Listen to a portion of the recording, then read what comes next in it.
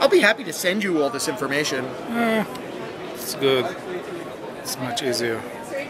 So, in addition to these standard configurations, they can be customized with with the wavelengths uh, and and orientation of them. So the water is flowing from the bottom. So, this device is not a water device. Ah, okay, this one. This device is designed uh, to irradiate like a petri dish.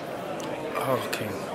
Yeah, right. If you're doing a study, and then, or if you want to do photochemistry, And this is for the. this one is is for water. So the water flows in. here? There's a chain.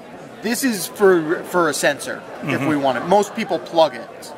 Uh, so the water flows in one side, out the other, into the chamber, and so the LED here on the chip illuminates the the chamber and What's the power of the LED? uh, so the 265 puts out